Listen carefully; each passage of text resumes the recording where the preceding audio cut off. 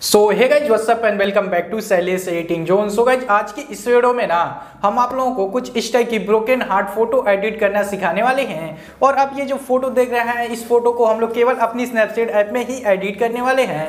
तो आपको इस वीडियो में पूरा मज़ा आने वाला है गाइज़ तो फटाफट से इस वीडियो को लाइक कर दीजिएगा। चैनल पर नया तो सब्सक्राइब कर दीजिएगा। तो चलिए इस वीडियो को हम लोग शुरू कर लेते हैं। सो गाइज़ सबसे पहले आपको अपनी स्नैपचैट ऐप को ओपन करके सिंपल से इस प्लस वाली आइकन पे क्लिक कर देना होगा।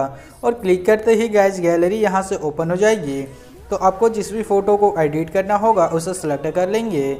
जैसे कि गैज मुझे इस वाली फ़ोटो को एडिट करना है तो मैं इस वाली फ़ोटो को अपनी स्नैपचैट ऐप में ओपन कर लिया हूँ। और ओपन कर लेने के बाद सबसे पहले स्टेप में गाइज़ आप लोगों को क्या करना होगा, इस पेंसिल वाले आइकन पर क्लिक कर देना होगा और आप लोगों को सिंपल से ऐसे पूरा एकदम नीचे चले आना होगा। गाइज़ नीचे आने के बाद यहाँ पे आपको नोयर का ऑप्शन देखने को मिल जाएगा। तो इस नोयर वाले ऑप्शंस पे हम लोग क्लिक कर देंगे। गाइज़ जैसे ही क्लिक करेंगे, यहाँ पे कई सारे फिल्टर्स आपको देखने को मिल जाएँगे।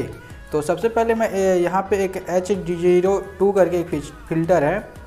एच ज़ीरो टू करके एक फ़िल्टर है तो इस फ़िल्टर को हम लोग ले लेंगे और लेने के बाद इसकी सेटिंग्स को क्या करना होगा? यहाँ पे नीचे आके इसकी ग्रेन जो है ना, बिल्कुल हम ज़ीरो कर देंगे। और ज़ीरो कर लेने के बाद सिंपल से आपको यहाँ से राइट क्लिक करके और देख सकते हैं आपकी आल्टो वाल आपकी पूरी फ़ोटो कुछ इस टाइप से दिखने लगी है। तो क्या करने वाले हैं गाइज़ ऊपर साइड में इस क्रॉस तीर के आइकन पे क्लिक कर लेंगे। व्यू एडिट पर क्लिक करेंगे। नॉयर पे क्लिक करके यहाँ से हम लोग ब्रश को ले लेंगे। गाइज़ ब्रश को लेने के बाद आपको इस वाली आइकन पर क्लिक करना होगा और यहाँ से साइज़ आपका ज़ीरो हो जाएगा। तो फ़ोटो को गाइज़ आपको जूम कर लेना होगा और आपके स्क्रीन पे जो भी ये वाला इफ़ेक्ट आया है इसे कुछ इस टाइप से आपको रिमूव कर लेना होगा। तो फटाफट से ऐसे आप रिमूव कर लीजिएगा। मैं भी कर लेता हूँ फटाफट से।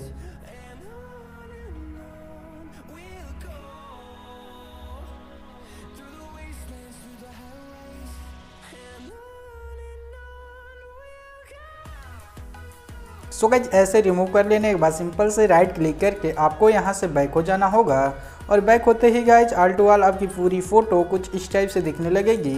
तो इसके बाद हम लोग को देख सकते हैं बैकग्राउंड में काफ़ी ज़्यादा वाइट है तो इसको भी ब्लैक करने के लिए हम लोग क्या करने वाले हैं? इस पेंसिल वाले आइकन पर क्लिक कर देंगे और आप लोगों को ऐसे ऊपर आके यहाँ पे एक ब्रश का ऑप्शन देखने को मिल जाएगा। तो ब्रश वाले ऑप्शंस पे हम लोग क्लिक कर लेंगे। गाइज़ क्लिक कर लेने के बाद आप लोगों के सामने चार ब्रश यहाँ पे देखने को मिल जाएँगे। तो यहाँ पे एक डॉर्ज एंड बर्न का ऑप्शन मिल जाएगा तो इसको हम लोग सेलेक्ट कर लेंगे। और इसकी साइज़ को क्या रखना होगा? साइज़ को हम लोग माइनस टेन कर लेंगे। और कर लेने के बाद सिंपल से आपको अपने बैकग्राउंड पे कुछ इस टाइप से ड्रॉ कर देना होगा। जहाँ जहाँ पे वाइट है, वहाँ पे कुछ इस टाइप से आपको ड्रॉ कर लेना होगा। जैसे कि मैं कर रहा हूँ।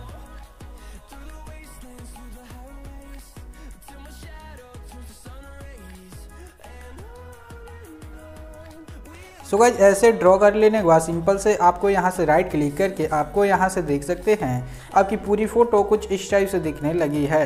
तो गाइज़ इसके बाद हम लोग क्या करने वाले हैं? पीएनजी को ऐड करने वाले हैं। तो उस पीएनजी को ऐड करने के लिए इस पेंसिल वाले आइकन पर क्लिक कर देंगे और आप लोगों को ऐसे नीचे आना होगा।